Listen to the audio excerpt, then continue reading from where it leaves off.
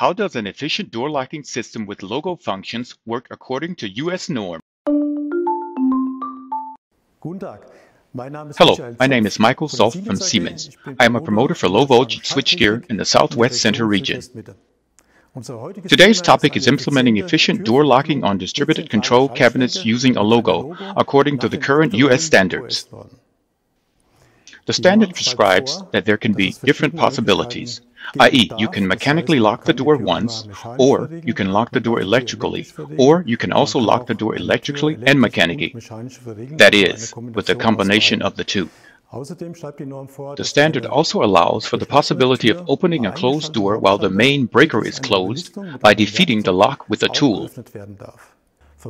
In this control cabinet, we have installed a molded case circuit breaker from the Sentron range of a 3VA5 with UL certification and an associated door-mounted rotary operator. An auxiliary switch, a trip alarm switch, and an undervoltage release are also installed in the circuit breaker. We need all these components for the electrical control system. For electrical locking, I have installed the Sirius 3 SE5 position switch with magnetic tumbler in the lock position and a key-operated push button and various signal lamps from the new Sirius Act 3 SU series. The core of this control system is, of course, the Siemens logo controller.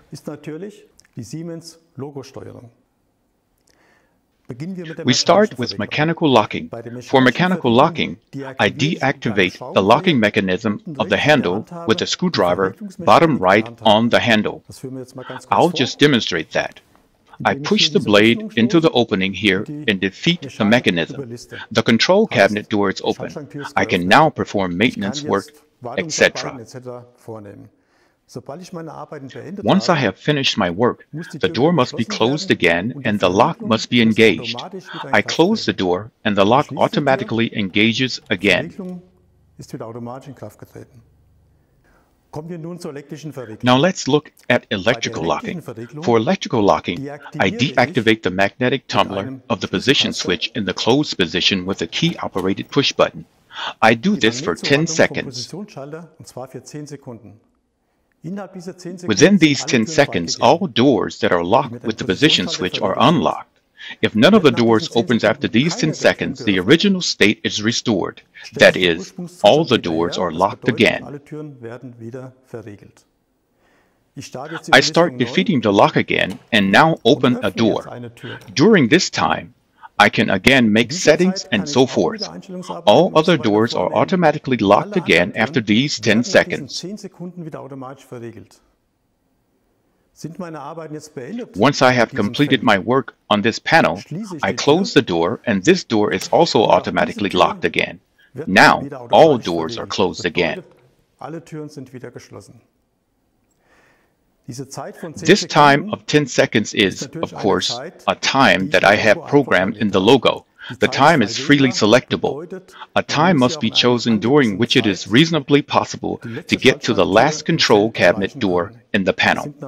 That is at a distance of 15 meters and within sight, according to the standard. In this case, the 10 seconds are, of course, sufficient. But this can be changed at any time as I have said, the next option that exists is, of course, to isolate the control cabinet completely within the main switch. That means the switch is open, the installation is de-energized, and all doors thus unlocked. The door with the main switch is unlocked, as are all other doors with electrical locking, which are kept closed by the position switch. Before a circuit breaker is closed and the installation becomes operational again, all doors must be closed. If a door is not properly closed or is still completely open and I try to close the circuit breaker, the circuit breaker will trip immediately. This is done via the installed undervoltage release. I must close the door or doors properly, and then I can close the circuit breaker quite normally.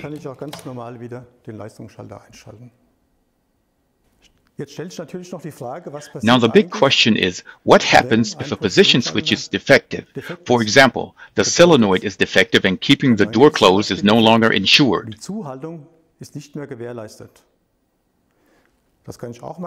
I can demonstrate this briefly by deactivating the power supply for the solenoid of the position switch. I can still close the control cabinet now, but if I open this door with a defective position switch, the circuit breaker also trips.